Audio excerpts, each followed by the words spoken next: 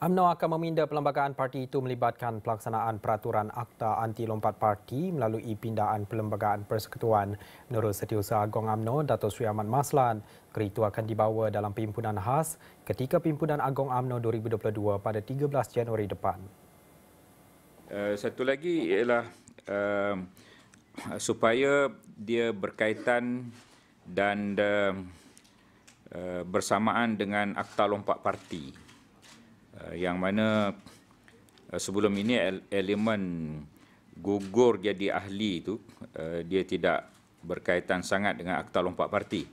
Jadi apa yang kita nak buat ialah supaya dia selaras dengan akta lompat parti maka kita masukkan elemen akta lompat parti bagi pengguguran mereka yang menjadi ahli AMNO apabila mereka keluar daripada parti merujuk kepada Akta Lompat Parti.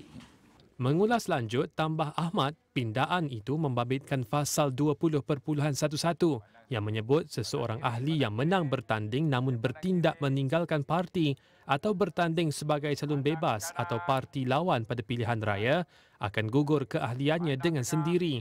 Beliau berkata demikian dalam sidang media PAU 2022 di Menara Datuk On pada Selasa.